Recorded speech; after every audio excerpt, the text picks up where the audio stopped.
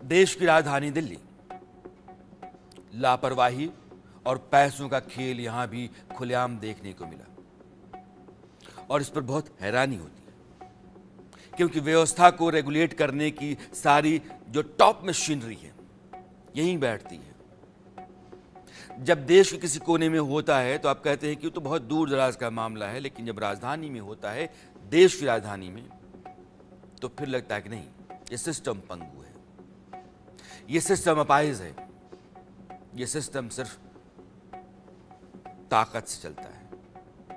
चाहे पैसे की ताकत है, रसूख की ताकत है, या फिर कोई पॉलिटिकल ताकत है।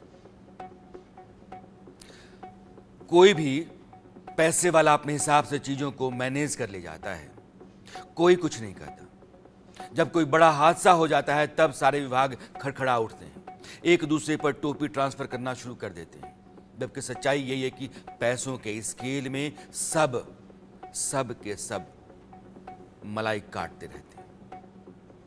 दिल्ली के विवेक विहार में एक चाइल्ड हॉस्पिटल में शनिवार को, यानी कि 25 मई की रात, आग लग जाती। है हादसे में सात नवजात जो हाल में पैदा हुए थे, उनकी मौत हो गई। उस वक्त अस्पताल में 12 बच्चे एडमिट थे। पाँच को बचाया जा सका। जिन बच्चों की जान गई, उनमें चार लड़के थे और तीन लड़कियाँ। 25 दिन के एक बच्चे को छोड़कर दूसरे सभी बच्चे 15 दिन या उससे कम के थे। अब आप लापरवाही का आलम देखिए। दो मंजिला बिल्डिंग के फ़र्स्ट फ्लोर पर new born baby care centre चल रहा था।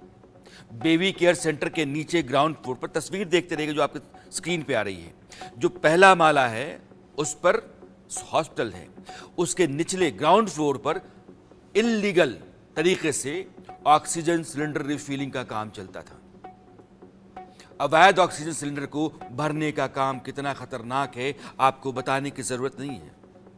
कभी भी ब्लास्ट हो सकता है, लेकिन ऊपर बच्चे हैं, आग लग सकती है, धमाका हो सकता है। जानलेवा है, खतरनाक है, फिर भी चल रहा है। क्योंकि पैसा चल रहा है।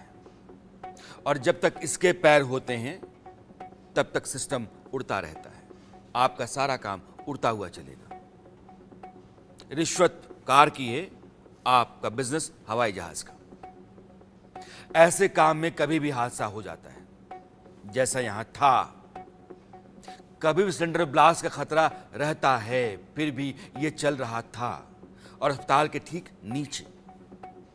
आपको क्या लगता है कि किसी को दिखा नहीं होगा? आप सही समझ रहे हैं। सब पैसे से मैनेज होता है। पूछताछ के लिए संबंधित विभाग के अधिकारी, कर्मचारी पहुँचे ज़रूर हैं। पैसा मिलते ही सब शांत हो जाता है। अब जाँच में सब सामने आ रहा है। क्या आ रहा है? अब सुनिए। आपको यह जानकर हैरानी होगी कि जिस बेबी केयर हॉस्पिटल में आग लगी, उसका लाइसेंस एक्सपायर हो चुका था। फायर डिपार्टमेंट से मंजूरी भी नहीं ली गई थी। न आग बुझाने का यहाँ कोई इंतज़ाम था और ना ही इमरजेंसी के वक्त बाहर निकलने का कोई दूसरा रास्ता।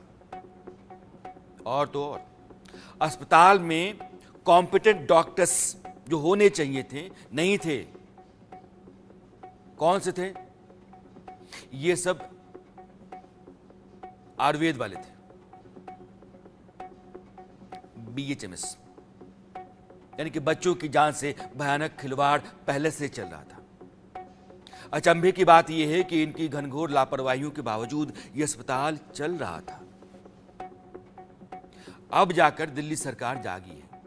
मजिस्ट्रेट जाँच के आदेश दिए गए हैं। ये आग जो आप स्क्रीन पर देख रहे हैं, आप देखिएगा इस बिल्डिंग के बाहर एक लोहे की सीढ़ी जाती है पहले माले पर। अस्पताल में जाने का रास्ता सिर्फ़ वही एक सीढ़ी है। आप समझिए ये तस्वीरें आप देखी और उस सीढ़ी में आग लग गई। ब्लास्ट हुआ। ब्लास्ट होने के बाद एक सिलेंडर जो है, वो ऊपर की तरफ़ गया और उसमें आग लगी और फिर ऊपर जलने लगा। तो सीढ़ी जो थी, उसके जाने का रास्ता बंद हो गया। ऊपर के माले में आग लग गई। बच्चे वहाँ हैं। नीचे इलीगली ऑक्सीजन सिलेंडर भरने का काम और जो खतरा हमेशा वहाँ बना रहता है, वो उस दिन अपने शक्ल में आ गया। बच्चे साथ के साथ मारे गए। लेकिन जिन परिवारों ने अपने मासूम बच्चे खो दिए हैं, अब चाहे जो भी कर लें आप, जितने मुकदमे कर लें, डॉक्टरों को अपने गिरफ़्तार कर लिया है, सजाएँ हो जाएँगी, और पता नहीं इस तरह के कितने और अस्पताल इसी तरह से लापरवाहियों के साथ चल रहे होंगे, अब भी और हादसे का इंतज़ार कर रहे होंगे। लेकिन परिवार वालों ने जो अपना खोया है, उसकी भरपाई होगी क्या?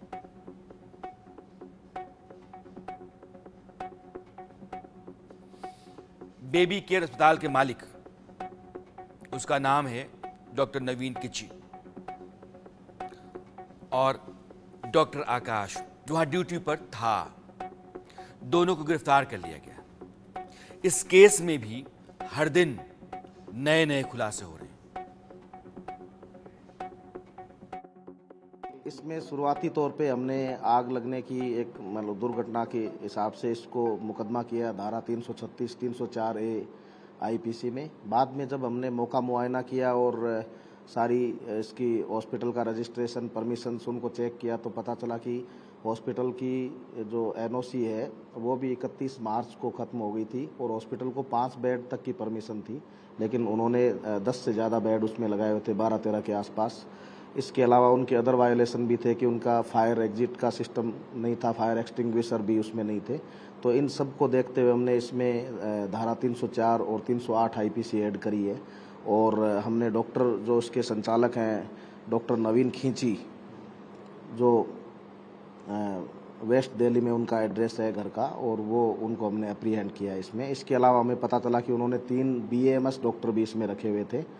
तो उसमें से एक डॉक्टर जो ऑन ड्यूटी थे, डॉक्टर आकाश, उनको भी हमने अप्रीहेंड किया है।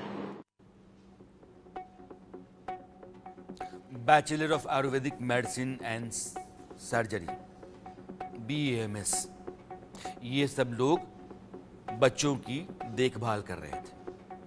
ऐसे चलता है। घर वालों को लगता है कि डॉक्टर है। मोटी फ़ीस है। पैसा पूरा वसूलते हैं। लेकिन जान से खेलते